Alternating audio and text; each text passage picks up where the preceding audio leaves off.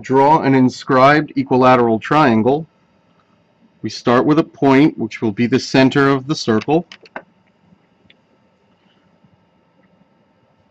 And we draw a circle from that point. Now, without changing the compass, we put the pin anywhere on the circle and make a tick mark.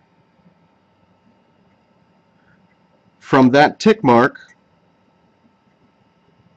we make another and walk around the circle and we don't change the compass.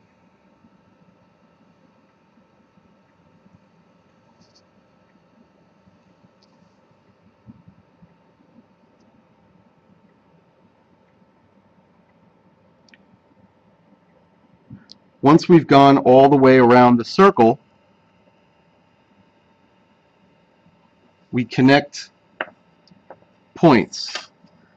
We don't want to connect every point because if we did we would make a hexagon but instead we'll just connect every other one.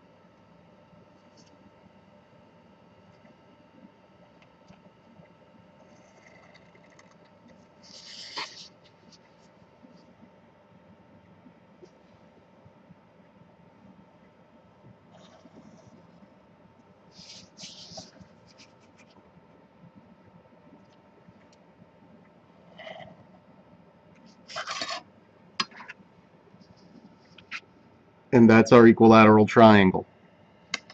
I'll do that again. So we start with a point.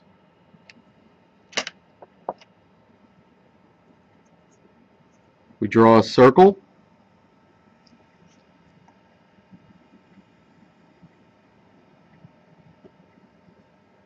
We don't change the compass.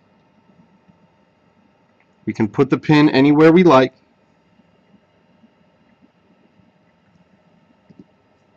And we walk around the circle.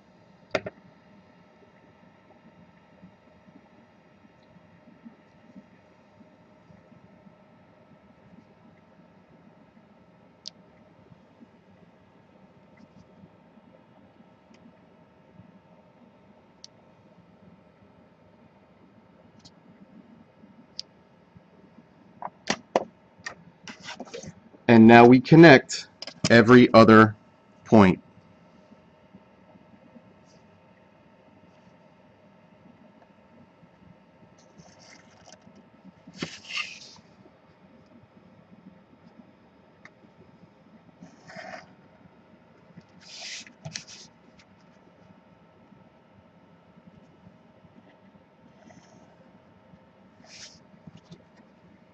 And that's how we construct an inscribed equilateral triangle.